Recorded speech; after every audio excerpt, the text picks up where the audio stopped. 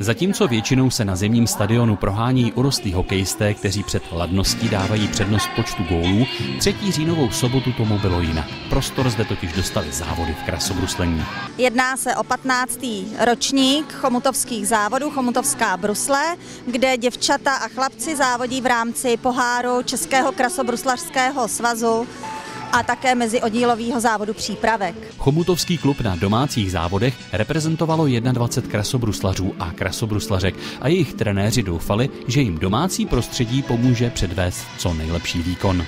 Snažili jsme se, aby se děvčata i chlapci co nejlépe umístili a přinesli si domů některé medaile a poháry. A to se nakonec povedlo. Chomutovský klub získal na domácích závodech sedm cených kovů, z toho hned dvě zlaté. A na začátku letošní závodní sezony tak splnili slib, který si společně s trenéry dali. Aby jsme zlepšili své výsledky a aby děvčata a chlapci na sobě pracovali. Pokud by rodiče krasobruslení jako sport zaujalo, mají šanci rozvíjet své děti tímto směrem.